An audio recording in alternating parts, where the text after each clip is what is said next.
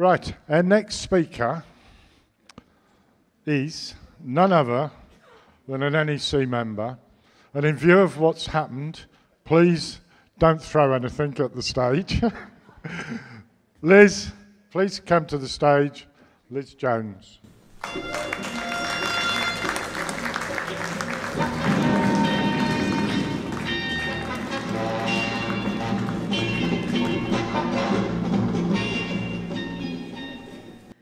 conference guests, can I first of all say how delighted I am to be here this afternoon at the UKIP Southeast Region Annual Conference in lovely Eastbourne. All of us UKIPers know that your southeast region has traditionally been one of the party's strongest areas, strongest for membership, strongest for resources, and by no means least, strong for voter support out there in the electorate. Having said that, interregional rivalry is not really a UKIP game, and I don't want to stir it up. We all live where we are and do what we can for our party as best we can. And that's no less vital in Northern Ireland or Scotland than it is here on the south coast.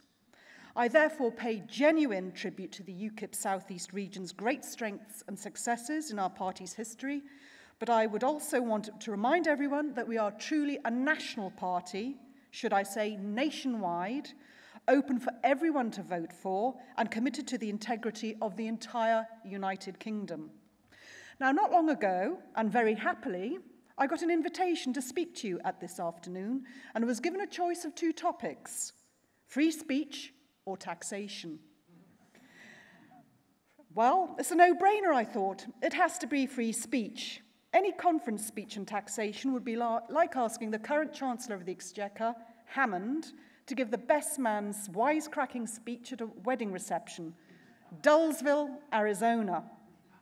Then I thought, okay, free speech is under siege from all directions, and UKIP must join the fray in its defence in our usual robust libertarian fashion. So I'd better just check something with you all here first before I continue.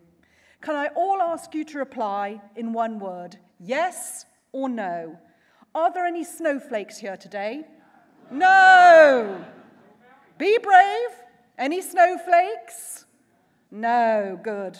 Well, as you're all brave enough to have an open mind about free speech, I must now confess to you. I'm going to talk to you this afternoon about one of the most decisive factors in deciding the minds of voters at elections. What is that? Taxation. Very few issues matter more in political democracy than tax.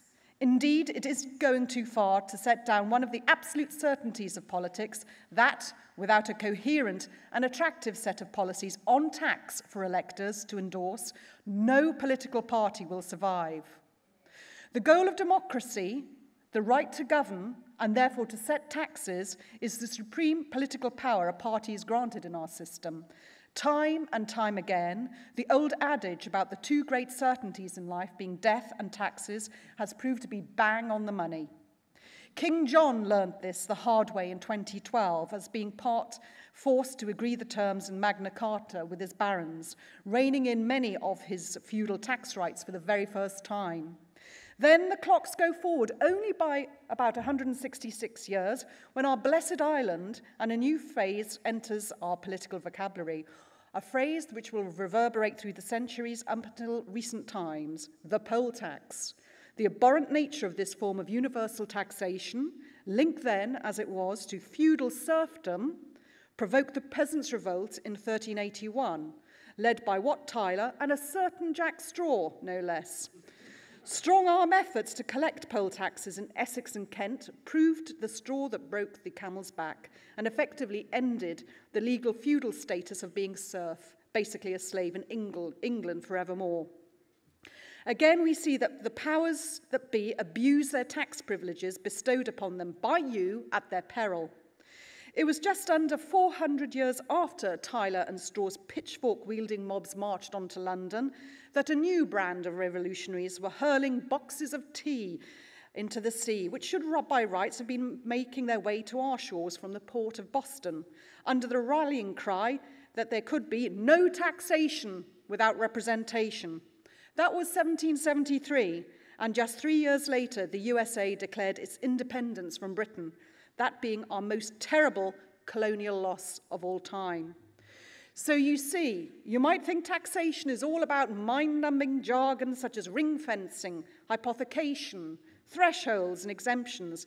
And if our current Chancellor Hammond had his way, that is all we would hear about. But actually, it is taxation which has decided the course of this island's history and will remain so so long as representative democracy remains in the United Kingdom. And now, we in UKIP have arrived at another stage in our own development, a vacancy at the top, I believe. It is critically important for us to grasp that we, as a political movement, to seek influence over the government of this country, and if we wish to harbour any ambition to be that government ourselves, then we, as UKIP, must have a sound, a sound position on taxation. To that end, and in an act of outstanding generosity on my part, what I'm going to offer is a broad brush programme for our party's next manifesto on taxation. Because, make no mistake about it, if Boris Johnson does get us out of the EU by the 31st of October, his next move will be to call a snap general election. And if he doesn't, then he will have no choice but to do so. UKIP, therefore, has less than three months to finalise a sound set of policies for our next manifesto, and taxation must be at the core of that manifesto. My programme, and you're going to hear it for the first time, is unashamedly a bonfire of the taxes.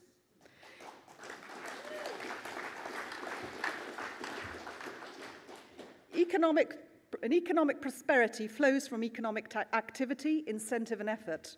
There is absolutely nothing less inspiring to individuals than having to hold out begging bowls for various Corbynist uh, communist committees to bob out a few bob here and a dole out a few bob there via umpteen layers of bureaucracy through so-called enterprise zones, ta- task forces and regional growth councils and so on, whilst handing industrial policy over to Marxist trade unions through renationalisation.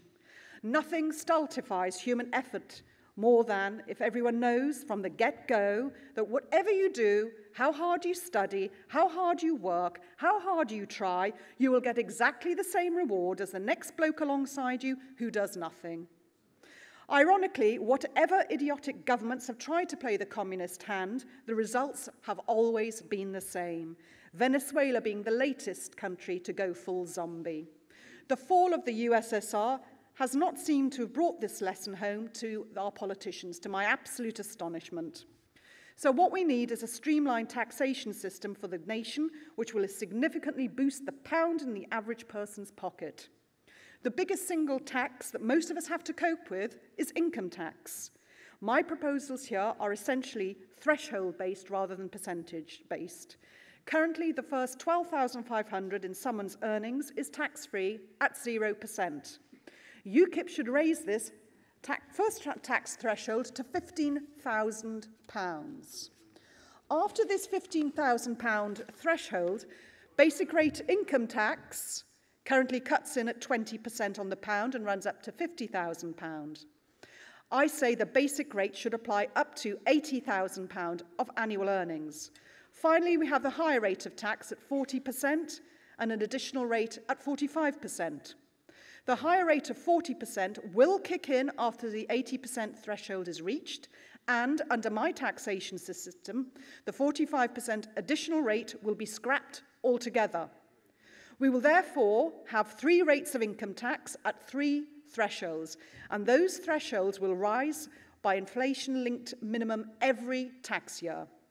Now, the next big tax take for most of us is national insurance which currently works out at about 12% at the basic rate threshold until a higher rate, then it pans out at about 2%. My proposal is to keep this in place, but it is an obvious increase take from the 50 to 80% bracket.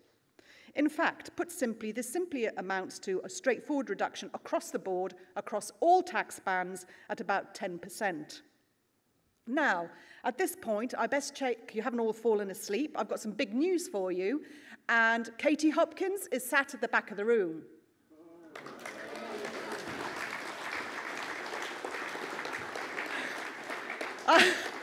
I'm terribly sorry. I'm very sorry. That just woke you up. She's not here. Sorry about that. Another income tax, national insurance. The next bite the taxman takes out of our pockets is VAT. Our change here should be fairly simple. The burden is basically currently 20% on everyone as a sales tax, fuel tax attracting about 5%. UKIP will scrap the 5% fuel rate on uh, VAT.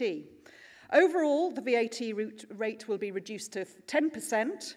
More items will be VAT exempted, judged on merit, and I would suggest first off, female hygiene products and on-premises alcohol, meaning beer sold for drinking in pubs mostly. So that's what I call a voter-friendly taxation policy. Stop taxing women unfairly and give Britain's pubs a break.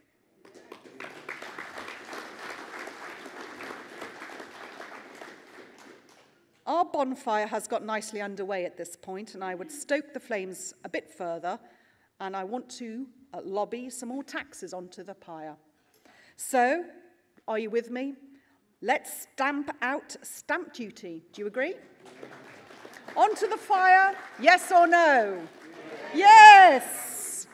Till death us to part. Time to bury the inheritance tax. Onto the fire?